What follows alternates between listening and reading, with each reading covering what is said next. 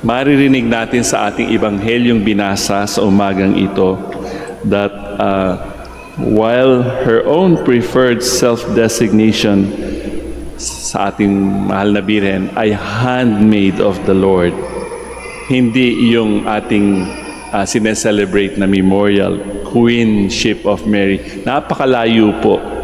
Handmaid of the Lord mismo ang kanyang binanggit nung nag-goodbye na siya doon sa anghel. And she marveled that the Lord has looked with favor on the lowliness of His servant. Maririnig naman natin yan sa kanyang Magnificat when uh, she visited her cousin Elizabeth. And later generations did indeed call her blessed and piled honorifics, mga titles, upon her, kagaya ng sa makikita o mababasa natin sa Litany of Loreto, which lauds her in symbolic titles such as the Tower of David, House of Gold, Ark of the Covenant, Gate of Heaven, Morning Star. Di ba? Makikita ho natin yan sa litanya. But what Mary herself would have thought of such great titles cannot be guessed, but they satisfied the devotional needs of pilgrims making procession in her honor. And during the Middle Ages, Our Lady was venerated as Queen of the Angels and Saints. Tagal na hong panahon yon, Middle Ages pa.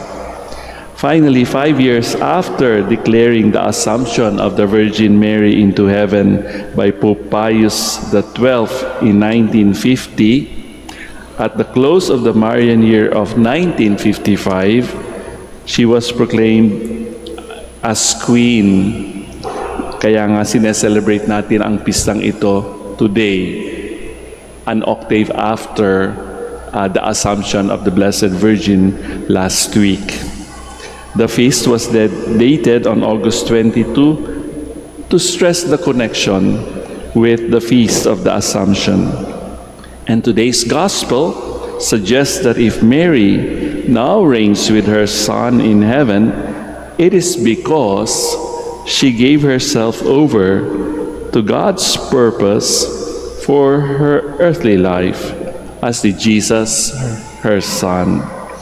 And there are many stories of vocation, tawag para sa ating mga nilalang dito sa uh, dito sa mundo in the Gospels and in the Bible as a whole. Today, we read about the call of Mary. Kaya nga makikita natin, Our Lady of Manawag. Now she is calling us, pilgrims from all over the world, hindi lang man dito sa Pilipinas. But one time, she also received a call. And Mary displayed a whole range of responses to God's approach to her. Diba, sa umpisa, she was deeply disturbed at being called God's favored one. Kagaya rin natin, nag-iisip din tayo. God's favored one who would conceive and bear a son. Then she questioned how this promise would come about, and it was only after reflection that she surrendered to what God was asking from her. Sabi niya, Let what you have said be done to me. How can this be? It is clear that Mary had to struggle with a dilemma before reaching her famous response, so vital for our own destiny.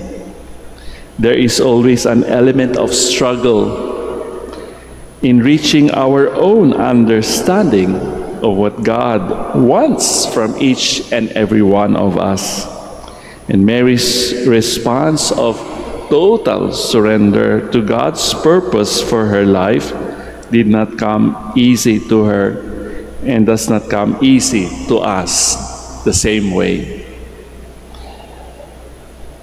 However, in our struggle to live in harmony with God's purpose for our lives, we all have the assurance of Gabriel's word to Mary Nothing is impossible to God. Marami ho ang nagpupunta dito sa Manawag at alam na natin yan. Kuminsan ang mga hinihingi ay imposible.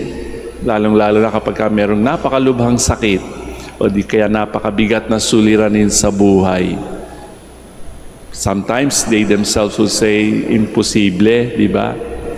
But remember that word, those words, nothing is impossible to God.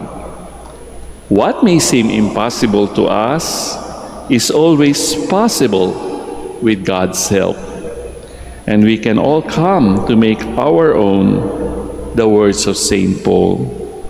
By the grace of God, I am what I am, and His grace toward me has not been in vain. Sana ay ganyan din ang ating response kung ano man ang tawag sa atin ng Panginoon sa ating panahon, sa ating buhay. We now stand to offer our prayers and petitions.